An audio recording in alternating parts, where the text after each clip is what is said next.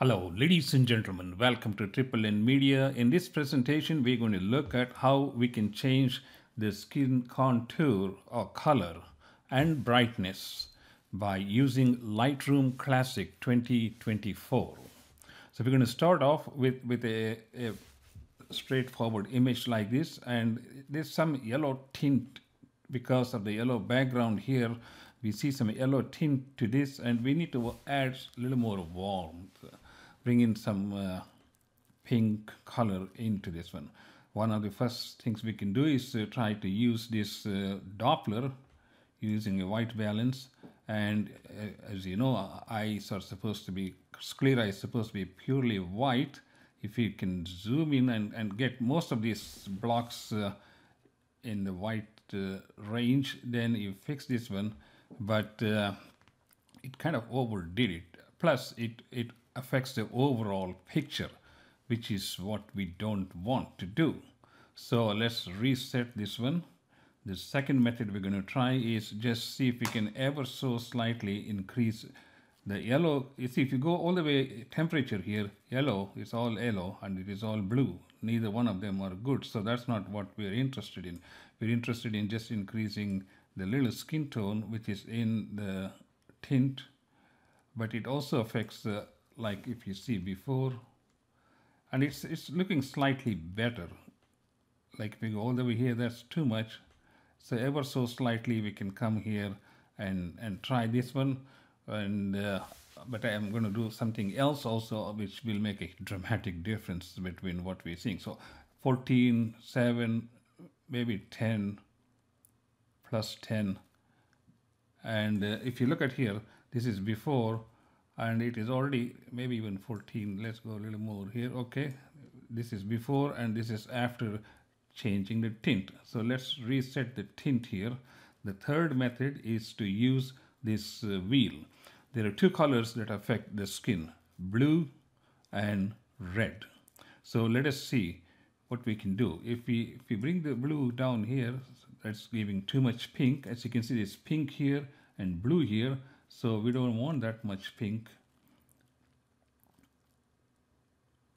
Yes, that may be one way to do it.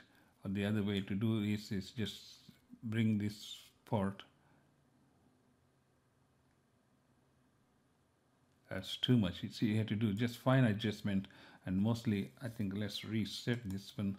And uh, so we just go over here. We're right now we're on red. So let's go to blue first and see if it's, it's, it's, it's too much yellow here. And here's yellow. So we want to move this one ever so slightly. Or if that doesn't work, you just move this one. This is before, this is afterwards that's maybe too much let's just bring it a thread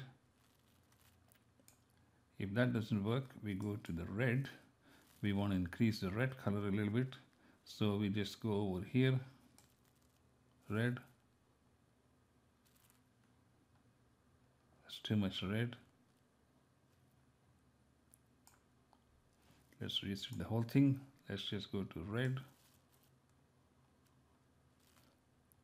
It's looking a little better. Just ever so slightly we want to increase the color. This is before and this is afterwards.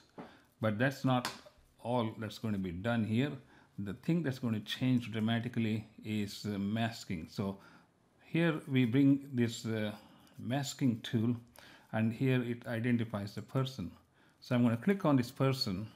Now we're going to selectively go use the skin and body skin. So it selects these two areas and whatever changes we make, if that's not enough, we can, it's missing a part of this, but uh, for a demonstration purpose, we'll stick to this. We're going to create a mask. Now it has created a mask and uh, the temperature is usually supposed, let me reset this temperature. And this is what we started off with, all right? So we can increase the exposure which will uh, dramatically change the skin color and texture just ever so slightly 0.45 so here we have this picture and this was before and this is afterwards. You can see and it looks brighter.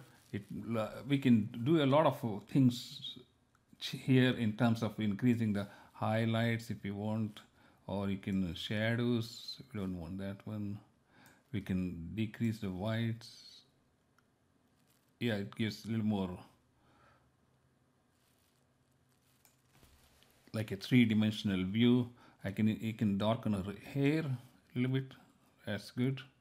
Maybe it's too much. Just a touch. So here's before which was kind of like a light skin color tone and hair. Look at her now and look at this one. This more warmth. And it's just a matter of what pleases your eyes. But i'm just showing you some of these techniques that you can use to change what looks like a, a dull picture maybe underexposed with a little yellow tint because of the yellow background and you can fix that uh, by just changing uh, a few things by using different techniques. If one technique doesn't work, you have to use a, a combination of these techniques to get your final result. I hope uh, this has been useful to you. Thank you so much for watching and uh, please do subscribe to our YouTube channel and I will see you in the next presentation. Bye.